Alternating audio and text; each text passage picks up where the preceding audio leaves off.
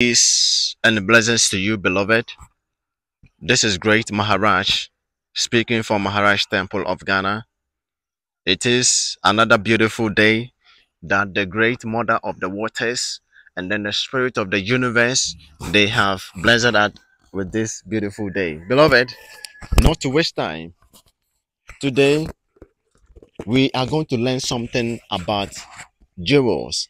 For example, nose ring, bracelets, anklets, and stuff like that. So, beloved, not to waste time, do me a favor. Make sure you share this video to your family and friends. This is great Maharaj, the founder of Maharaj Temple of Ghana. Share this video and a more nice, beautiful teachings is on your way coming at your door. This is great Maharaj. Thank you so much. Now, pick up the number. The number or the contact number, contact information is plus 233 54 7180. And beware of imposters, beware of fraudsters, beware of scammers. They're all over the places. So please, if somebody comes to you and then says that Maharaj said you should give him or her money or whatever, please be extra careful. I don't do that. So thank you so much. Go to the YouTube channel and then search Maharaj Temple of Ghana and then subscribe to the YouTube channel. There's a lot of videos out there. Some of them are in our local language, some of them are also in English. So please take a time and then go through all of that. Thank you so much. Beloved, quickly pick up your Bible. yes, pick up your Bible. Today we are going to learn something from the word of so-called God. Now, the very Christians who condemn the use of jewels are the same Christians that their God is promoting jewels. Beloved, the same Christians whom condemn the use of jewels such as nose rings, anklets, and necklaces, or whatsoever. Beloved, the same Christians, their own Bible is promoting this kind of lifestyles. So not to waste time. Pick up your Bible right now, beloved. Pick up your NIV Bible. Yes, get an NIV, NIV Bible. NIV Bible. Yes, if you don't have some, go on the internet, go Google Play Store, and then download NIV Bible. Now, after you download the NIV Bible, beloved, take a pen and paper and then write down these Bible quotations. Write down these Bible quotations. That is Genesis chapter 24, verse number 22. When you're done, go to the next verse. That is Ezekiel chapter 16, verse number 11 to 13. And then lastly, go to the book of Isaiah chapter 3, verse number 21 to 23. Now, let's read what the Bible says there. Genesis chapter 24, verse number 22. There's a story there.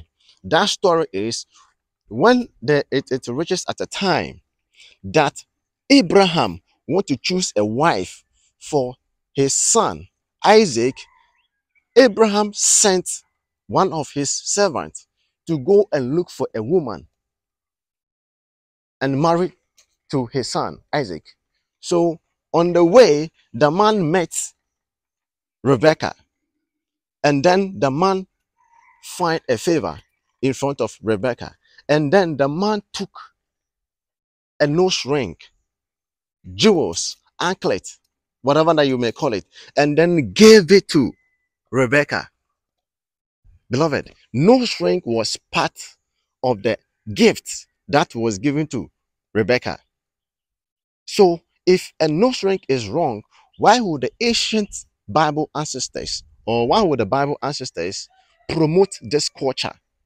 Because it is part of the Bible. Nose ring is part of the Bible. Nose ring is not for my own water children. Nose ring is not for the Muslims. Nose ring is not for only Christian. It's not for Indian women. No.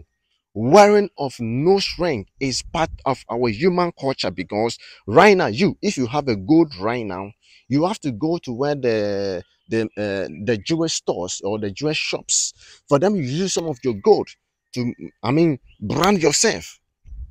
You use some for your brand, uh, uh, uh, uh, what we call bracelets. Use some for necklaces. Use some for nose ring, and then the earrings to promote how rich and worthy that you are, beloved. So if Rebecca wore a nose ring, oh, beloved, you'll be blessed, okay?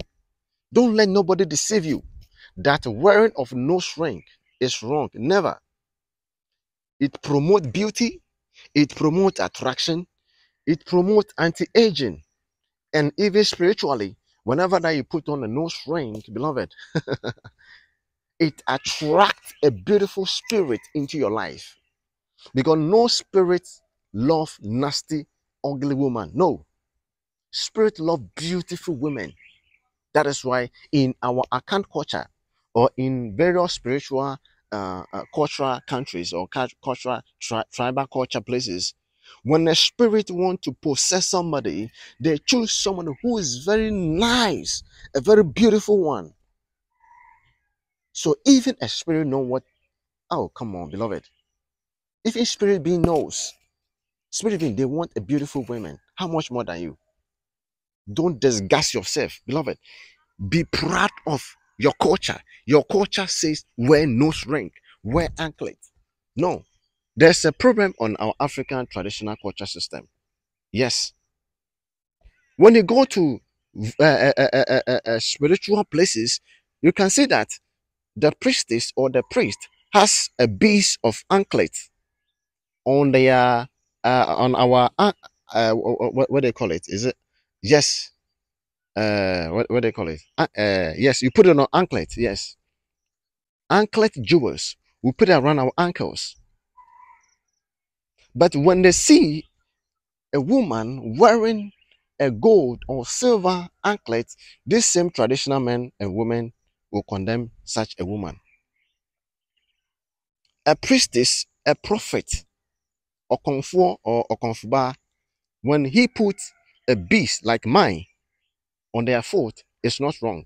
But when they see an ordinary, uh, uh, uh, an ordinary woman wearing a gold or silver anklet, then they'll begin to condemn her that she is a show by a prostitute. What kind of nonsense is that?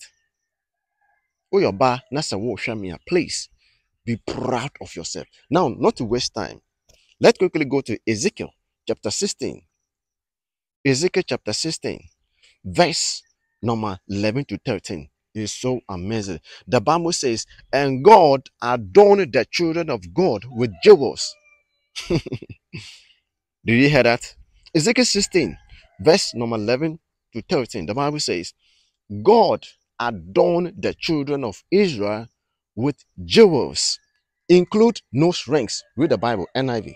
Read it. So if God Himself, I told you, God is a spirit. Spirit being love jewels. They love beautiful women. So God put nose rings right in the nose of the children of Israel.